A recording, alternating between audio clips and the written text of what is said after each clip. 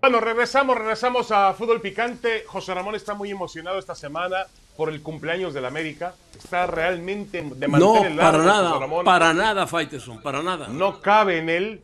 Y bueno, hoy le tenemos una gran sorpresa para, para festejar el cumpleaños del América. Tenemos un enlace desde Argentina con una leyenda del fútbol argentino, hoy compañero nuestro en, en ESPN, habitual del programa F90, un hombre que arma cada escándalo con lo que declara en los programas, un auténtico showman, que además, como lo hacía bien en la cancha, que era duro Ruggeri, era mordía en el campo de juego, pues ahora lo hace en la televisión también. El gran Oscar Ruggeri. Oscar, ¿cómo estás? Bienvenido, saludos. Hola, ¿cómo les va? ¿Cómo andan? ¡Qué placer! José Ramón, ¿cómo nos bancaba? Nos Oscar seguías a Ruggeri, todos lados ¿qué con pasó? el pichichi. ¿Cómo estás? Bueno, Oscar Bien, Ruggeri, bien. que, que, eh, jugó en el América, por supuesto, eh, dirigió al América, también dirigió a las Chivas, eh, vamos a decirlo así, Sí. también dirigió a las Chivas, dirigió a los Tecos en el fútbol mexicano. Oscar, eh, ¿qué te significa para ti el nombre del América y su cumpleaños? ¿Te significó algo en tu carrera especial vestir la camiseta del América? Sí, claro, por supuesto. Por supuesto que fue importante para mí porque lo elegí, porque yo estaba en Italia, me abrieron las puertas. Para mí el América es el Real Madrid en México. Y ya que, ya que tienen el escudito ahí atrás del teléfono del Real Madrid, eh, Real Madrid América es más o menos, está ahí parecido. No, Ruggeri, por favor, Real Madrid América, por favor. Hay, hay diferencias, hay grandes diferencias, enormes diferencias. Te quiero decir que Faitelson sigue siendo un americanista de closet, escondido ahí, escondido. Sí, sí, sí, vaya, el tamaño de closet que hace falta para esconderme ahí. Pero a ver, No, no. Oscar, tú dirigiste, jugaste en el América y dirigiste al América. ¿Realmente tiene la Sí. misma presión? Y jugaste en el Real Madrid, fuiste también una figura del Real Madrid. Y, jugaste en equipos como Boca y como River, también con una gran presión. Eh, Oscar, ¿el América está en esos niveles? Sí, claro, sí, sí. Yo tuve el privilegio de jugar el Boca River de mi país, Real Madrid Barcelona de, de España y América Chivas. Así que imagínate qué privilegio que tengo. Los, tres grandes, grandes partidos. Y Oscar, eh, hoy por ejemplo tenemos un, un entrenador argentino eh, dirigiendo al América que lo está haciendo bastante, bastante bien. Los números de Santiago Solari son muy buenos, pero le reclamamos, sobre todo le reclama José Ramón, el ala del antiamericanismo, le reclama que es un equipo poco espectacular. Yo te pregunto, ¿el América necesita ser un equipo espectacular?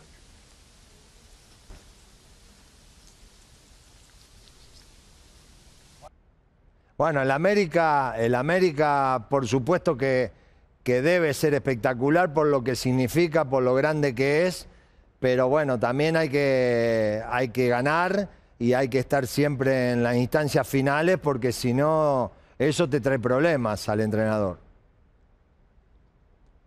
José Ramón. Oye, Oscar, Oscar, ¿dónde hay más presión? ¿Dirigiendo a la América o dirigiendo a las Chivas? Oh. Lo que pasa es que, a ver, lo que pasa es que cuando termina la temporada, más o menos hiciste una buena temporada y planificás la, la que viene, podés elegir jugadores, podés agarrar y decir, bueno, me voy a Argentina, me traigo un par de jugadores o me traigo de Europa un par de jugadores. Y en Chivas los tenés que buscar ahí en el país o trabajar muy bien en inferiores, que es lo que hicimos nosotros con Martínez Garza, cuando me tocó estar ahí. Oscar, hace poco un entrenador como Víctor Manuel Bucetich, dirigiendo Sí. a, a Chivas, dijo que en el fútbol actual mexicano, que tiene mucha presencia de extranjeros, es más difícil dirigir a Chivas y lograr triunfos con Chivas. ¿Tú estarías de acuerdo con ese tipo de, con esa afirmación de que es una desventaja, así lo dijo Bucetich, jugar únicamente con mexicanos? según lo que tengan planificado. Si tienen como línea de trabajo eh, armar unas muy buenas inferiores y preparar los jugadores, eh, recuerden ustedes que el mexicano ya está hecho, ya sabe cómo es el torneo, cómo es todo, y los que traen, los que vienen de afuera se tienen que adaptar. Primero la familia, el jugador, eh, la altura en algunos lugares, el smog en algunos lugares, y el mexicano tiene ventaja. Sí hacen un buen trabajo de inferiores, porque han sacado muy buenos jugadores eh, en México, así que yo creo que puede competir, puede competir con cualquiera.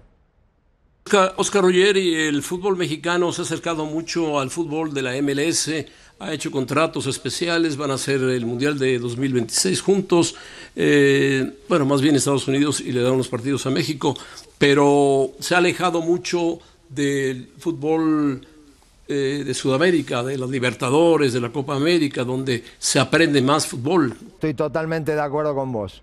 Nosotros antes, recordá que hasta jugamos una final de Copa, de Copa América en Ecuador, eh, en la 93. Entonces, ahí estaban compitiendo a otro nivel, estaban compitiendo a, nivel Europa, a nivel de todo lo más grande que le hace muy bien al jugador.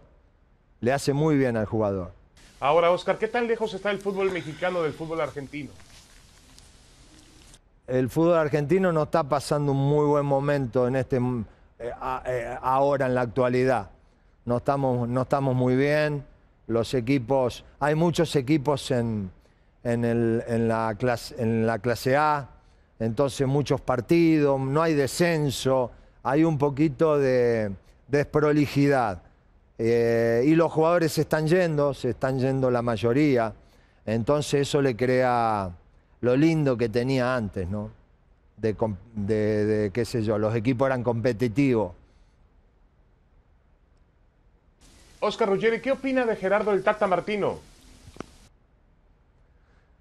Bueno, el Tata, el Tata, bueno, es un técnico muy reconocido, que ha tenido mucho éxito, le ha ido muy bien, de la línea más o menos de, Bielsa, eh, pero bueno, me gusta, por supuesto, me gusta, es serio, es serio, trabaja, trabaja muy bien y, bueno, hay que ver después los resultados, ¿no? Yo puedo decir muchas cosas, pero siempre los técnicos hoy están muy atados a los resultados. Oye, Oscar, platícanos algo de la época de Copa, cuando la, la, Copa del Mundo del 86, si los recuerdos, ¿tuviste algún recuerdo con Diego Armando Maradona? que fue fantástico, maravilloso, que en paz descanse. Y bueno, tengo los recuerdos totales de cuando concentramos ahí en el América, de cuando llegamos por primera vez que Argentina no era candidata. Sí teníamos a uno que era de los mejores, pero en ese momento no éramos candidatos y, y bueno, fuimos creciendo a lo largo de todos los partidos y mm, tuvimos la suerte de que el mejor del mundo eh, quiso ser el mejor del mundo y quiso ser campeón del mundo. Así que nosotros lo acompañamos y, fuimos todos juntos para ahí. Nosotros tenemos aquí también, por suerte, a Hugo Sánchez, que fue compañero tuyo. ¿Qué tal era como, el jugador y compañero? como compañero, Dios mío, nosotros en el Real Madrid ese año que me tocó estar con él, hizo 38 goles en 38 partidos. Eh, fue tremendo, fue tremendo. Después llegué a la América, él ya estaba, y bueno, me puso muy contento porque, bueno, nos fuimos y concentramos juntos. Entonces yo le, hacía agujeros en el jugo, le tiraba agua, lo volvía loco, lo volvía loco. Pero la pasé, la pasé muy bien. Oye, Oscar, em, hablas de que el fútbol argentino está pasando, ya para finalizar, está pasando por, momentos eh, bajos un poco a nivel doméstico. Pero, por ejemplo, aquí en México eh, tenemos actualmente una cifra de 15, de, 15 entrenadores extranjeros, 8 son argentinos. Está muy cotizado el entrenador argentino en México. ¿Realmente es tan bueno? Ah, bueno es, eh, realmente bueno. Son oportunidades que no, se nos presentan y que México para nosotros es un lugar bueno para ir a dirigir y bueno para, para vivir, por lo menos por lo que viví yo. Pero lo están eligiendo mucho, cada vez más. Eh, bueno, no, tendrían que analizar ustedes por qué están entrando tantos entrenadores extranjeros, qué está pasando con los entrenadores mexicanos, Eh, porque yo sé que hay buenos, hay buenos. Sí, hay, buenos entrenadores mexicanos, pero se están yendo a dirigir a la división de expansión o se van a dirigir a la segunda división de España. Eh, han sido desplazados por los técnicos extranjeros, no solamente argentinos, sino también eh, Uruguayos. uruguayos, en fin, de todo tipo de entrenadores. Hay 17 técnicos extranjeros en México. Pero José, eh, ¿por, qué, ¿por qué te parece que está pasando eso? Yo Porque creo que José Ramón, dile que el, entrenador, el entrenador mexicano no, no sale y no avanza en sus estudios. Tiene que, tiene que avanzar más en sus estudios. Ah, tiene, bueno. tiene que ser más moderni, tiene que ser más moderno, estar más en la actualidad. Muy bien, muy bien. Yo te digo algo. Sí. Eh, hoy para ser entrenador, si no estás preparado, la pasás mal. Vos tenés que viajar, hay que irse, ponele. Hoy no estás entrenando, hay que tomarse un avión, ir para Europa, reunirse con todos los entrenadores, mirar los entrenamientos, mirar por qué entrenan de esta manera, eh, las figuras, cómo se manejan los entrenadores con figuras, con no tienen figura. Pero el que no se prepara con la que no es actualidad, el jugador eso lo reconoce enseguida y tiene problemas. Oscar Ruggeri, una pregunta. Eh, si nosotros hoy pusiéramos a este América, ya para finalizar, si pusiéramos a este América en la Liga Argentina, competiría con, creo, que el líder hoy es River Plate, competiría con el equipo de Gallardo para ser campeón? Sí, competirían. Lo- los, los, los buenos equipos de México pueden competir tranquilamente acá en Argentina. Sí, sí. Oscar Ruggeri, ¿cuál sería el mensaje para el aficionado del América que está cumpliendo años y que te recuerda con muchísimo cariño de tus días como futbolista y tus días como entrenador también del América? Bueno, felicidades, feliz cumpleaños, pero a lo grande, hagan una buena fiesta, invítenlo a, a José Ramón, invítenlo, de pri- eh, el primer invitado tiene que estar ahí en primera fila, ¿eh? Eh, como es, no, pero felicidades de verdad a, toda- a todos los hinchas del América y en, en definitiva México por tener un club como el América que, que lo hace más grande al fútbol, ¿no?